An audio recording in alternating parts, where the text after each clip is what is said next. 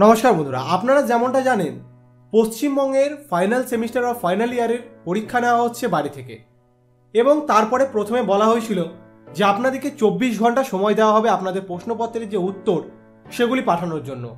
এবং তারপরে ইউজিসির যে নতুন গাইডলাইন সেখানে বলা হয়েছে যে আপনাদেরকে সেই যে চব্বিশ ঘণ্টা সেটি দেওয়া যাবে না এবং আপনাদের পরীক্ষা নিতে হবে দুই থেকে তিন ঘণ্টার মধ্যে।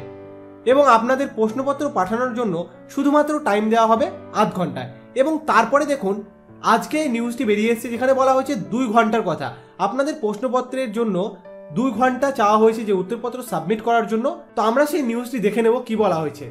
উত্তরপত্র জমা দিতে দু ঘণ্টা চান অধ্যক্ষেরা। এখানে দেখুন, ভালো কথাই বলা হয়েছে যে দু ঘণ্টা চান।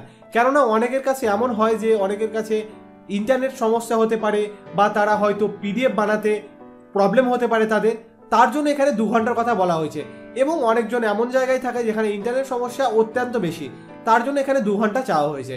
তো আপনারা চাইলে যে পিডিএফ কীভাবে বানাবেন এবং কীভাবে আপলোড করবেন তার সম্পূর্ণ ভিডিওটি আপনারা আই বাটনে ক্লিক করে দেখে নিতে পারেন।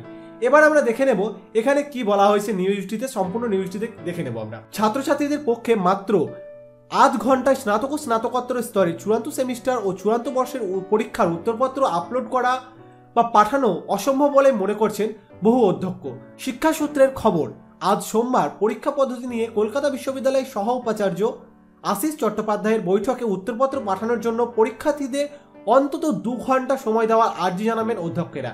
এখানে দু ঘণ্টা সময়ের জন্য যে প্রশ্নপত্রের উত্তর সেগুলি সাবমিট করার জন্য দু ঘণ্টা সময়ের আর্জি জানাবেন অধ্যক্ষেরা। এবং তারপরে কি বলা হয়েছে আমরা দেখে নেব। কলকাতা বিশ্ববিদ্যালয়ে পাঠানো চিঠিতে বিশ্ববিদ্যালয় মঞ্জুরি কমিশন ইউজিসির নির্দেশ দিয়েছে স্নাতক ও স্নাতকোত্তর স্তরের এই পরীক্ষা নিতে হবে দুই থেকে তিন ঘণ্টার মধ্যে। আপনারা যদি ভালোভাবে জানেন যে আবার নতুনভাবে বলা হয়েছে দুই থেকে তিন ঘণ্টার মধ্যে আপনাদের পরীক্ষাটি কন্ডাক্ট করাতে হবে। এর সঙ্গে প্রশ্নপত্র ডাউনলোড এবং উত্তরপত্র আপলোড করার জন্য দেওয়া হবে বড় জোর আধ ঘণ্টা। এখানে দেখুন বলে দেওয়া হয়েছে আধ ঘণ্টা যেখানে দেওয়া হবে। কিন্তু আধ ঘণ্টার মধ্যে এটি সম্ভব কি? সেটি কিন্তু একটি বড় প্রশ্ন। কিন্তু আধ ঘণ্টার মধ্যে পড়ুয়ারা কি করে উত্তরপত্র পাঠাবেন? বহু কলেজের অধ্যক্ষই তা নিয়ে চিন্তিত। তাই এই সময়সীমা বাড়ানোর আবেদন জানানোর রাস্তা নিয়েছেন তারা।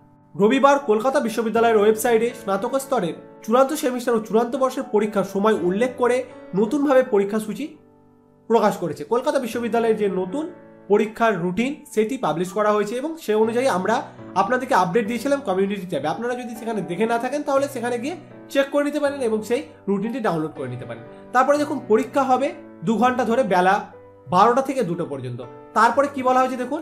আগে কলকাতা বিশ্ববিদ্যালয় স্থির করেছিল, বাড়িতে বসে পড়ুয়ারা পরীক্ষা দেবেন চব্বিশ ঘণ্টার মধ্যে উত্তরপত্র, ইমেল, হোয়াটসঅ্যাপ ইত্যাদি মাধ্যমে পাঠাতে পারবেন বা হাতে কলেজে এসে জমা দিতে পারবেন। এখানে দেখুন, আগে যদি বলা হয়েছিল, খুব সুন্দরভাবে বলে দেওয়া হয়েছিল, চব্বিশ ঘণ্টা টাইম দেওয়া হবে যারা পরীক্ষার্থী থাকবেন তাদের জন্য। কিন্তু ইউজিসি তারপরে নির্দেশ দেয়, চব্বিশ ঘণ্টা নয়, পরীক্ষা নিতে হবে দু থেকে তিন ঘণ্টার মধ্যে। তার সঙ্গে প্রশ্নপত্র ডাউনলোড এবং উত্তরপত্র আপলোড করার জন্য বাড়তি যে আধ ঘণ্টা সেটি সময় দেওয়া হয়েছিল। কিন্তু এই সময়ের মধ্যে কি সম্ভব? তারপরে দেখুন দক্ষিণ চব্বিশ পরগনা কাকদ্বীপের সুন্দরবন মহাবিদ্যালয়ের টিচার ইনচার্জ প্রদীপ দাস এদিন বলেন, আধ ঘণ্টার মধ্যে পরীক্ষার্থীরা কীভাবে উত্তরপত্র জমা দেবেন বুঝতে পারছি না। এর আগে উপাচার্যের বৈঠকে তার কলেজের পরীক্ষার্থীদের অসুবিধার কথা জানিয়েছিলেন প্রদীপবাবু। মৌসুমী দ্বীপ জি প্লট, রাক্ষসকালীর মতো প্রত্যন্ত অঞ্চলের ছেলেমেয়েরা তার কলেজে পড়েন। অনেক পরীক্ষার্থীরই স্মার্টফোন নেই। বাড়ি থেকে সাইবার ক্যাফে অনেক দূরে। ঘূর্ণিঝড় আমপানের সময় থেকে সুন্দরবনে ইন্টারনেট পরিষেবা মান অত্যন্ত খারাপ।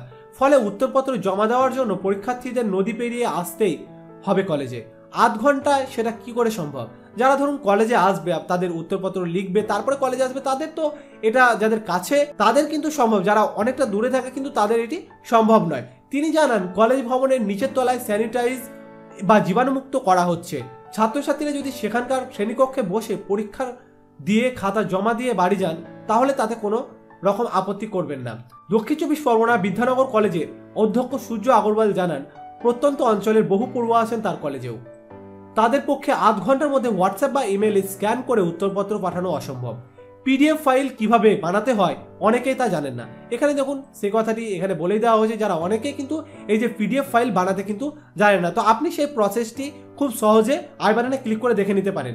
অনেকের কাছে স্মার্টফোন বা ইন্টারনেট নেই। কলেজে এসেই তাদের উত্তরপত্র জমা দিতে হবে।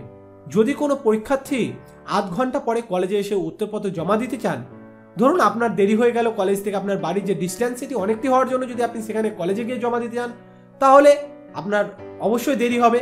এবং দেখুন, তারপরে বলে দেওয়া হয়েছে, যদি কোনো পরীক্ষার্থী আধ ঘণ্টার পরে কলেজে এসে উত্তরপত্র জমা দিতে চান, তাকে কি ফেরানো যায়? প্রশ্ন অধ্যক্ষের। এখানে দেখুন, সেটি খুব ভালোভাবে বলে দেওয়া হয়েছে। অধ্যক্ষের তরফ থেকে তো আশা করা যায়, কলকাতা ইউনিভার্সিটির তরফ থেকে এর যে কোনো রাস্তা নিশ্চয় বের করা হবে। তো এটি আশা করা যায় যে দু ঘণ্টা যদি দেয় সময়, তাহলে অনেকটাই ভালো হবে। সমস্ত পরীক্ষার্থীদের জন্য। তো আপনারা কি চান যে দু ঘণ্টার মধ্যে পরীক্ষার যে প্রশ্নপত্র সেটি সাবমিট করার টাইম দেওয়া হোক নাকি আধ ঘণ্টার মধ্যে? সেটি অবশ্যই নিজে কমেন্টে জানান। ভিডিওটি ভালো লাগলে লাইক করে দিন, কোনো প্রশ্ন বা সাজেশন থাকলে নিচে কমেন্টে জানান। আর চ্যানেলে নতুন হয়ে থাকলে সাবস্ক্রাইব করে বেল নোটিফিকেশনটি অল করে দিন। ধন্যবাদ।